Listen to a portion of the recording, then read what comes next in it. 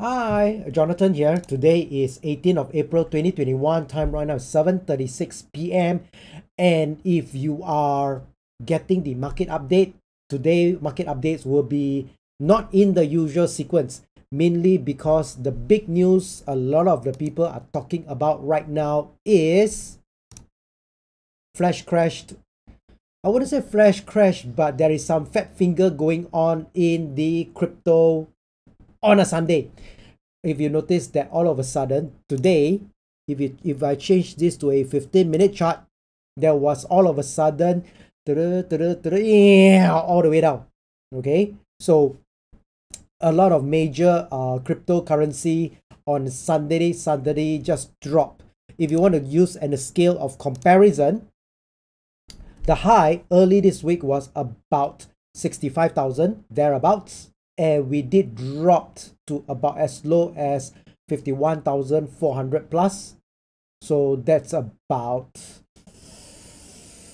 15,000, close to 15,000. So we look at it in terms of percentage, there's a massive big drop uh, over the last five days. One, two, three, four, five, six days. Okay, so do remember that crypto, um, this is the 24 by 7 chart. A lot of CFD broker only offer 24 by 5. So this is today on a Sunday and this is yesterday. Slowly, slowly, zoom. Okay, if you take a look at, everyone is talking about the Ethereum. eth usd let's use, uh, let's use this then.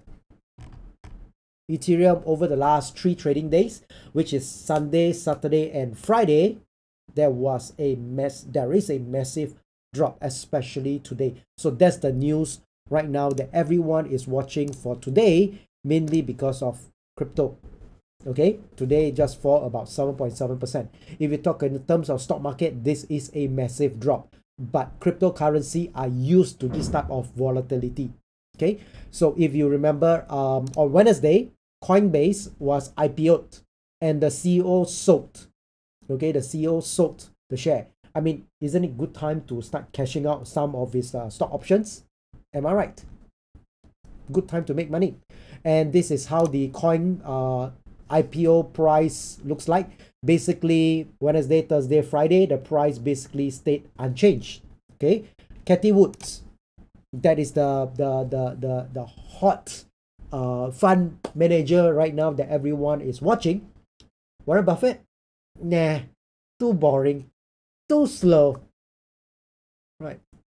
So everyone wants to look at the latest hot news. So Cathie Wood sold some of Tesla in order to put a major investment in uh, Coinbase. So uh, everyone is jumping in on crypto. So is it a good idea? Well, do remember, whatever I share is my personal opinion. If you like to trade, please do your own due diligence. Apologize, I got a little bit of running nose. Caught a little bit of chill just now in the rain just now. Okay, so let's take a look at the market for this week. What's the market for this week focusing on? The market for this week focusing will be still on earnings. All the earnings report are coming out. The everyone is watching the Netflix mainly because of the pay-per-view, uh, the the the streaming. So want to see whether can Netflix still hold on with Disney Plus, the Paramount Plus, and so on. Okay, Intel will be watching out to see whether do they have the battle with AMD and see whether is there the the Godzilla versus Kong. Okay, let's see whether what happens to that.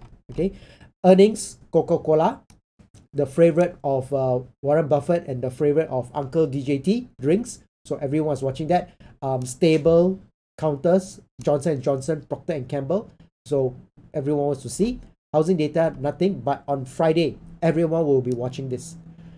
Apart, apart from the ECB meeting. So if I take a look at the calendar, Monday, nothing much. Tuesday, nothing much. Wednesday, uh, sort of nothing much unless you're trading New Zealand and also Canada. Um, do remember this will be coincide coincide together with the crude oil uh, inventories report. So Canada, dollar CAD will be affected by the price in the oil movement. Thursday, ECB, okay, and Friday, starting from the afternoon all the way to the evening, will be the uh, producer manufacturing index. Everyone's going to watch to see whether is there economic expansion uh, manufacturing expansion or manufacturing contraction. So everyone is watching that. I mean, look at the stock market. If you take a look at the stock market, this is Germany. Uh, I'll be talking a little bit about Germany. Remember last week I was saying that cautiously bullish? Well, it is still bullish. Look at that. This is daily candle. This was one, two, three, four, five. This week, we did went up. Dow Jones. Not only Dow Jones, basically all index.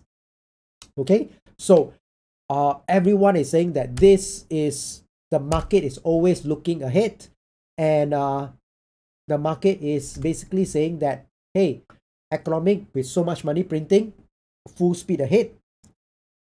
With vaccine the flu is what flu.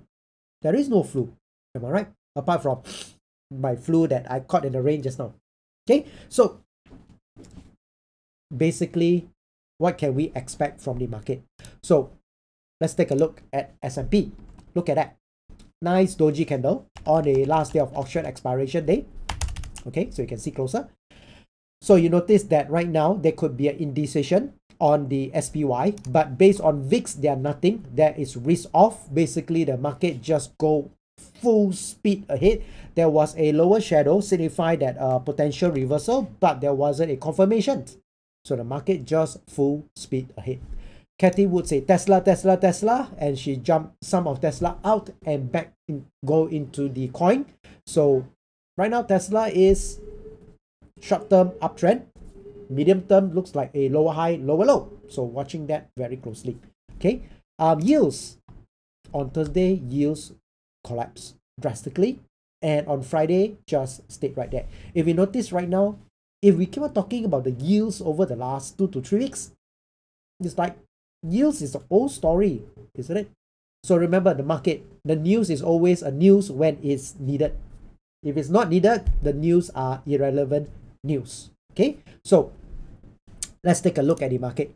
The big news in the market is actually well overall, you know, the US is uh went up, but the big news is actually on Germany DAX after so many days of consolidations, finally Germany DAX broke higher.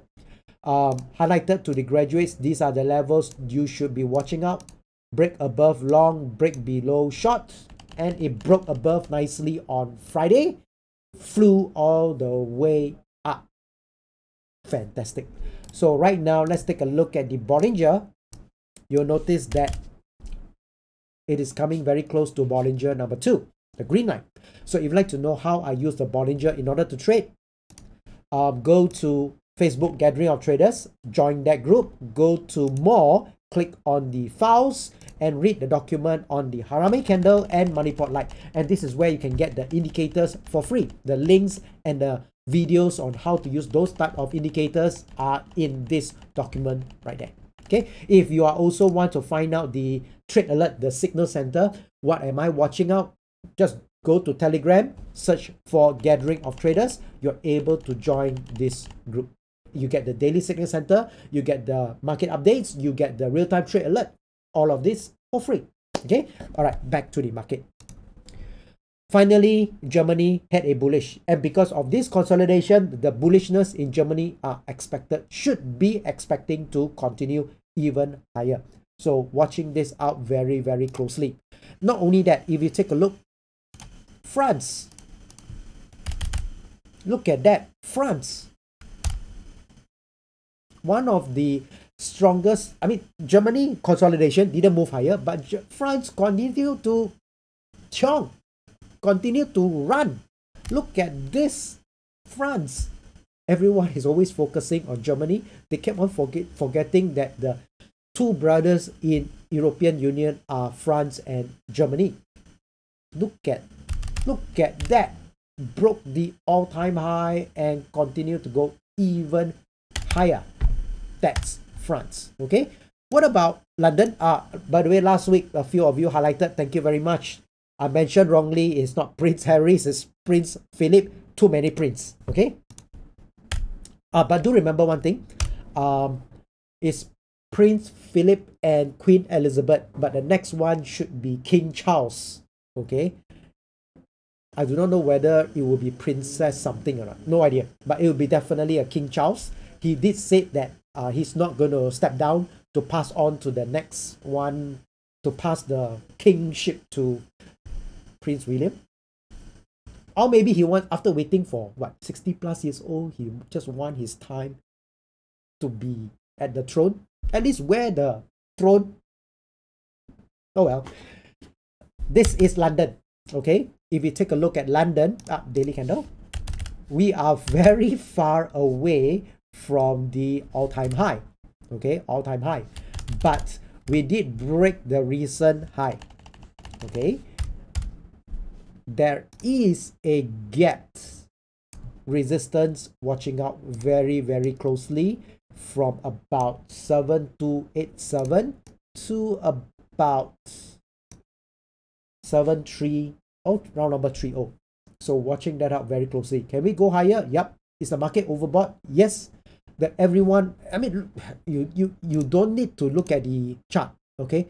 If you take a look at dow jones daily candle it is overbought. Look at S&P daily candle, it, it is overbought. If you took at where is it? Where is it? Where? Nasdaq daily candle, it is overbought. But you just take a look at Russell daily candle, not that overbought. okay, so if you notice, um, uh, Russell right now got a shoulder, head, and shoulder. And uh, if we don't come down, if it won't come down and continue to go up, this shoulder wouldn't be a good shoulder. But nonetheless, there is a very obvious uh, support that needs to break will be at about 2140. Only when that breaks, then this could be the entire shoulder. This is the head. Then this could be the entire shoulder. Only if 2140 breaks. And if you look at the target price for the head to the neckline, will be roughly from this to about 200 perhaps okay but only when 2140 breaks if Russell goes higher than um, this high which is at about 2360 round up then the head and shoulder are no longer valid. So watching that out very very closely. Okay? So overall in summary not the end of the youtube. Summary for indices.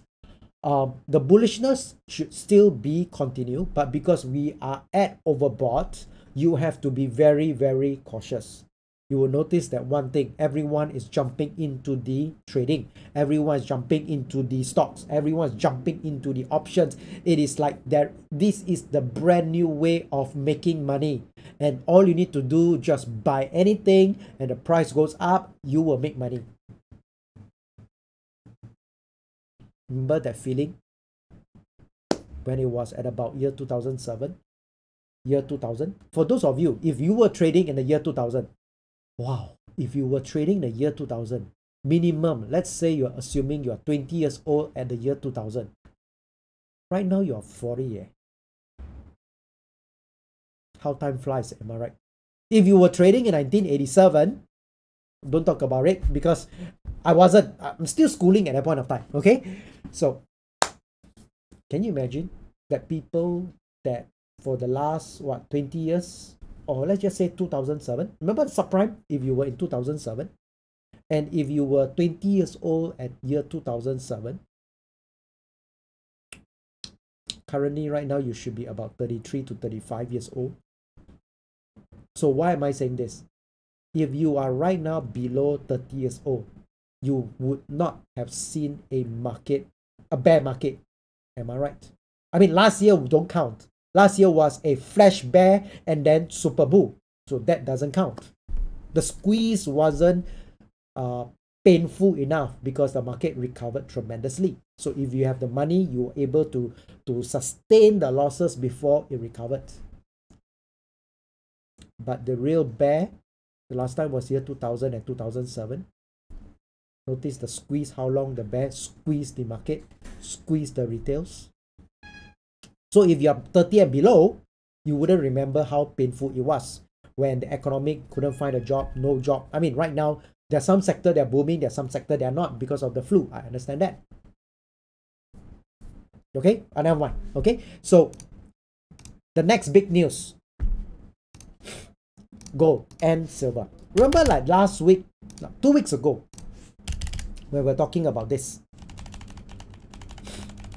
and says go bullishness, bullish. Remember, I said that it is weekly candle, and because it is weekly candle, it takes weeks to play it out. And yeah, we did yay, yay, yay, yay on Thursday, Friday, yay! And right now we are close to there that 200 EMA. Let's see whether can we touch that 200 EMA and let's see can we go higher than the 200 EMA. The reason why why I'm just using this to measure um, here to about here will be roughly about here. Um, the double bottom. So the distance between here to here, I just roughly measure the distance from here to about here. A little bit too high. Oh. Okay lah aggregation about that lah. Okay, so watching to see whether can the price projection for this double bottom go higher to roughly at about uh okay lah let's make it round number like 18,000 lah 18,000 is near 200 EMA. Okay lah, 1815 lah. Okay lah, 1815 lah. The original number that was mentioned just now. So let's see first of all on uh, such a strong move. It won't be a surprise if Monday is a small black candle. Hopefully a small black candle. Don't give me a bearish engulfing candle.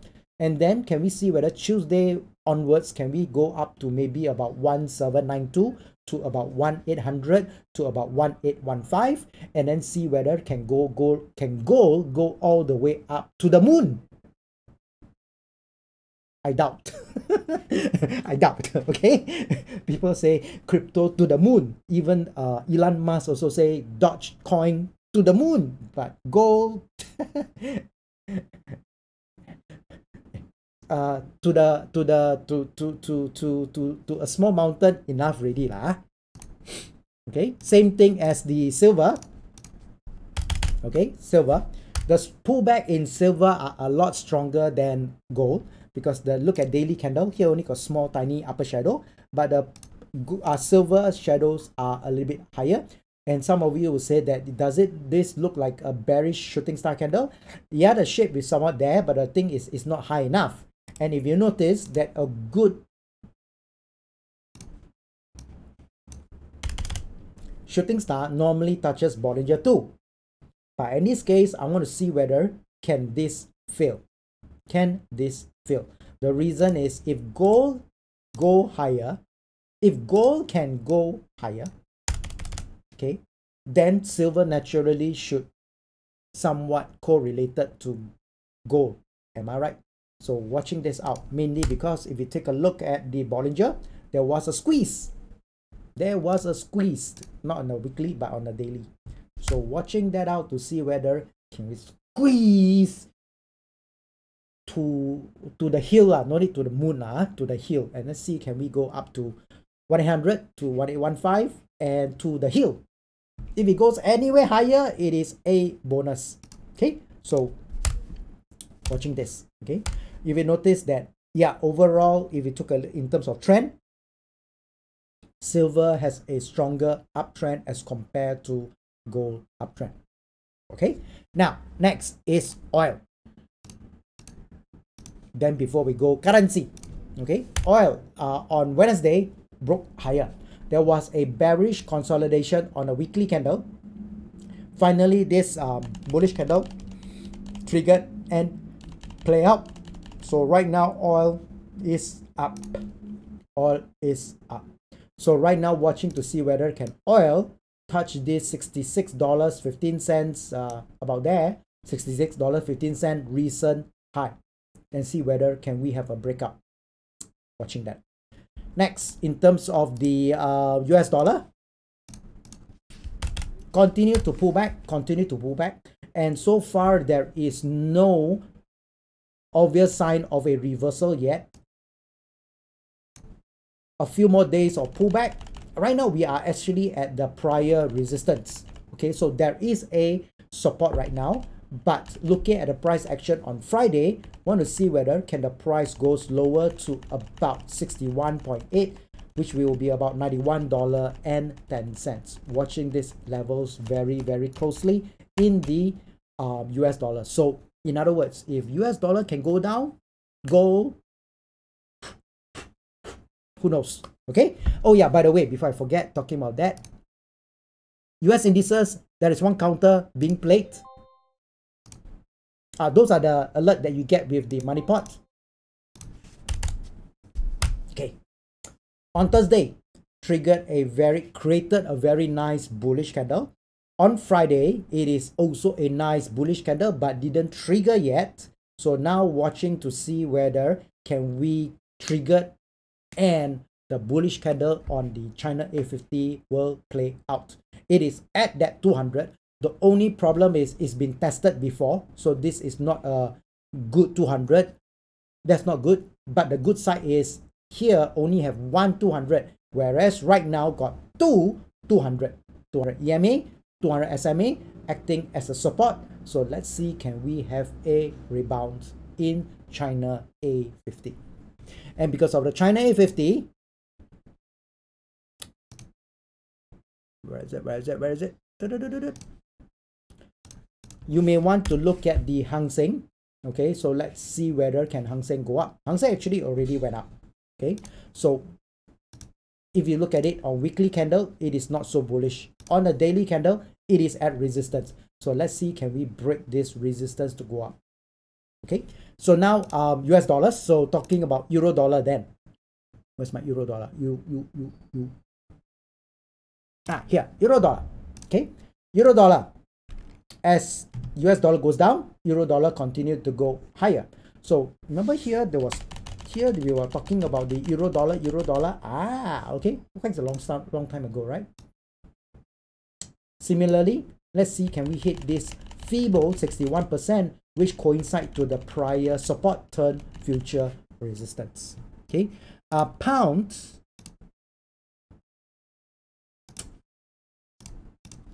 Look at how bullish is pound. We were coming down and then flew all the way up. This is one really bullish candle. So I'll be looking out for intraday signals to long uh, pound dollar okay but pullback expected because I mean look at it in terms of a smaller time frame look at this how strong it was so let's pull back maybe to this 200 on a 50 minute chart or even a 30 minute chart then let's see whether can we have a bullish signal to go in right there okay i'm also watching this particular counter euro pound okay i mean look at that that's a really bearish uh candle on Friday. So if it goes up, okay, if it goes up, there will be opportunity to see whether can I short here. I mean, right now, look at it. It is oversold on a smaller time frame. So why don't let the market rebound a little bit somewhere in the middle here? Somewhere in the middle here. You see, middle, right? And see whether can we have a bearish candle that looks like this before we look too short euro pound. And apart from that, that's it. So overall summary, indices cautiously bullish. We are very overbought. So anytime the market can turn, but so far there are no um, news yet. What can be the next trigger?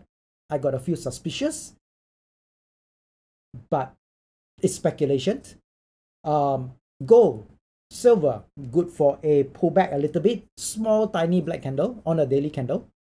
Uh, please don't give me bearish engulfing.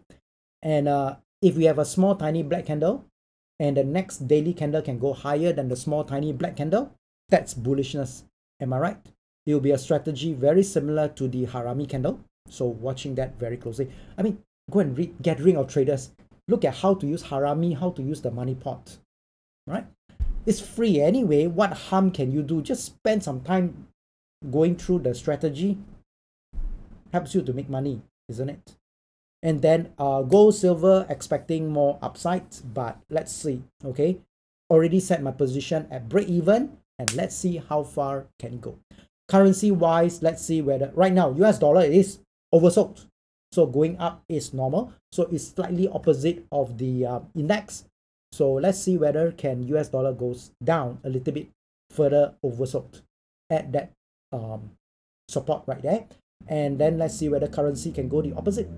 Euro, uh, US dollar, no, no, Euro dollar and pound dollar. But I'll be also watching Euro pound very, very closely. Oh, the other one I am watching. Where is it? Where is it? Where is it? Yeah, the other one I'm watching, it is actually dollar yen. Okay. The reason why I'm watching dollar yen is because we are close to this support. We are close to this support. And I want to watch to see whether can we bounce a little bit up, then come down. There will be a potential shoulder, head, and a shoulder right here. So I'm watching to see a short-term rebound to see whether there's a potential shoulder being formed before it drops lower. Okay, so Jonathan signing off. Um, we just completed the two two days of Pegasus, and this week will be day three and day four. And like I mentioned, if you still want to join, you can, but you have to catch up with the recordings on day one and day two. Um, the longer you decide to wait, the further you need to catch up. And I won't be doing Pegasus Trader anytime soon. Okay, so Jonathan signing off. See ya. Bye.